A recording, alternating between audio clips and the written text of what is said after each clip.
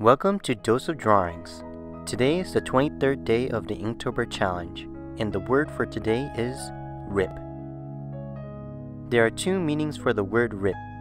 First is when you tear a piece of paper, and the second is the acronym Rest in Peace. I was confused on what to draw, so I drew the latter. I will be drawing Charmander holding a leaf on a stormy day. If you watch Pokemon, there was an episode where Charmander was abandoned by his trainer and Charmander was left behind on a rock with a weak tail. When Ash tried to catch it, Charmander refuses to budge. Even as the thunderstorm rages on, Charmander waits for his mean trainer, holding a leaf as a little umbrella to keep his tail flame from extinguishing.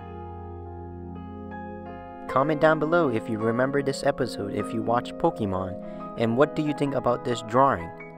For the rest of the video, enjoy a time lapse of me drawing Charmander from Pokemon for the word RIP, day 23 of the Inktober 2020 challenge.